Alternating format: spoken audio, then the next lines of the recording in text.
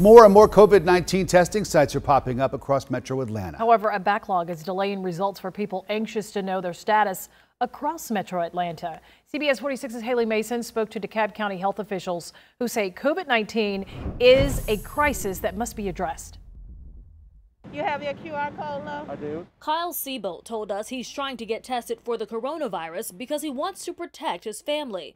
So I just want to, for sure, know. He's being told to expect a two hour wait here at the Doraville testing site, the busiest in DeKalb. We have seen a tremendous uptick in uh, testing numbers even since early last week.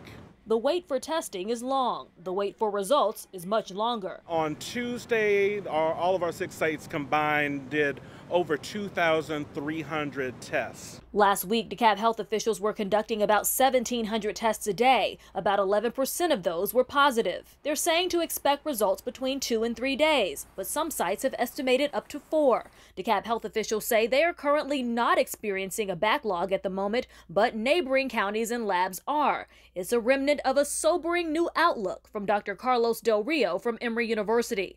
My prediction is in the next week or so, our ICUs, our hospitals are going to be at capacity and we're going to be in a crisis. And people are going to say, What happened? To secure a testing spot, DeKalb health officials are urging people to pre register online. We tried, and there was no availability until July 17th at many sites. When this happens, officials say some people are just showing up and trying their luck.